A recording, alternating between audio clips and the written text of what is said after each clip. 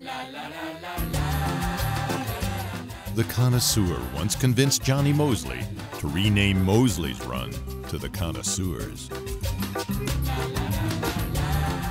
The connoisseur coached Jonny Moseley for the 1998 Winter Olympics.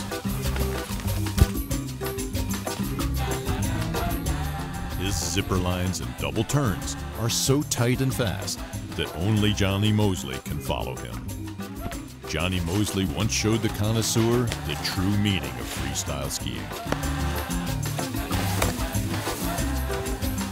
The connoisseur once challenged Jonny Moseley to a mogul duel.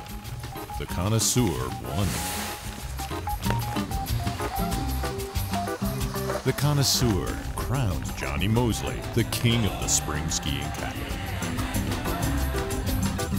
Join them this spring